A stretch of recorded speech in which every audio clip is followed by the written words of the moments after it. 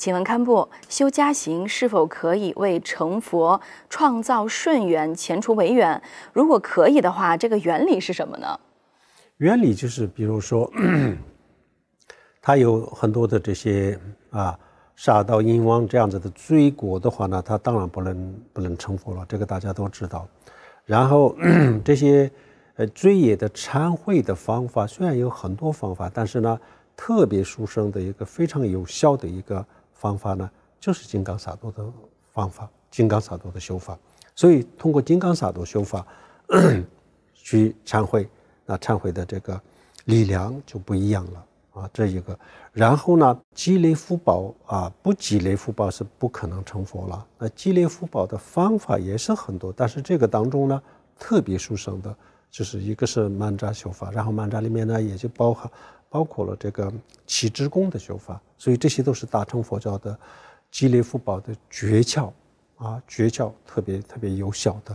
那这些都在家心里面呢，所以呢，呃，就是忏悔了罪过，然后呢又积累了这个福报，然后再加上这个上师瑜伽，上师瑜伽我们通过上师瑜伽的修法啊，然后呢就是获得上师加持，上师的加持也就很快就可以证悟，嗯。就我们平时这个，比如说上师的加持，这个呢，密法里面讲的很多，其他里面没有，虽然没有讲的那么的多，但是呢，比如说像这个禅宗的这个很多很多上师的这些开悟，实际上就是就是他们的这个上师啊的加持，然后就是这么一个简单的方法就就证悟了。那就其他人呢，没有受到上师加持的呀，或者是根基本来就没有那么成熟的人呢？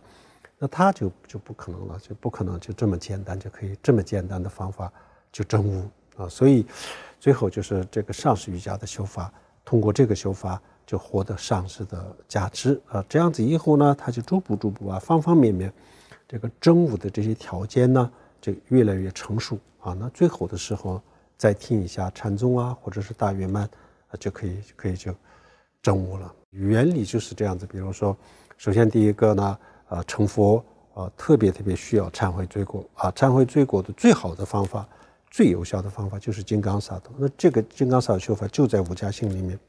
然后真悟空心也好，成佛也好，就需要积累福报。那么积累福报最好的方法就是曼扎的修法。那这个就在五加性里面。嗯，然后最后真悟空心，要直接真悟空心，或者是非常简单的方法去真悟空心的话呢？